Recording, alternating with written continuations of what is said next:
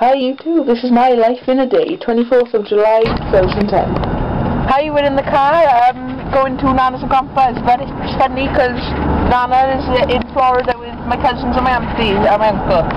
Um, so we're going in the car now to Grandpa's, and we're going to pick some apples off the trees.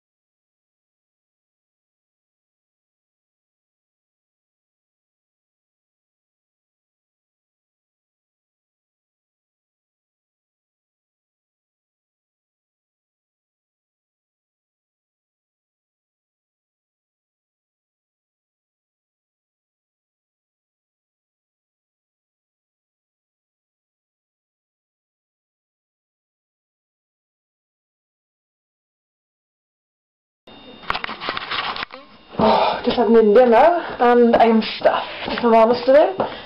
Right. Next one, we go. And uh, yesterday, bought a new laptop. Yep, so I've spent much of the last two days on it.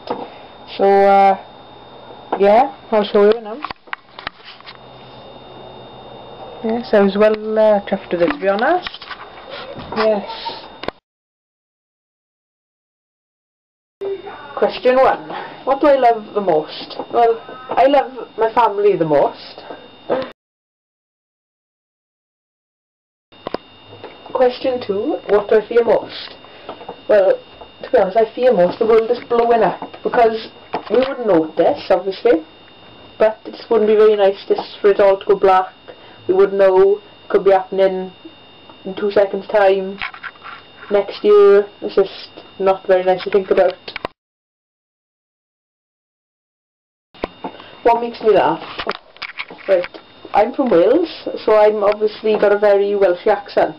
Don't know if you can actually pick it up now on the camera, but it actually makes me laugh when I actually play back videos and uh, recordings of my voice and all that, and I sound very, like, different to what I think I sound, so it makes me laugh at this. Question 4, what do I have in my pocket? Well, because I've got tracksuit bottoms on, I can't fit much in them, but uh, Oh, I got a, a pen. Um, it's a little blue one. And recently I've done my work experience and in a pharmacy it was and I use this pen every day for a week and it just reminds me of being there. I use it for writing the prescription notes and uh, the documents. Whether you're watching this now, 10 minutes time, 50 years time, 100 years time. This has been my July 24th, 2010.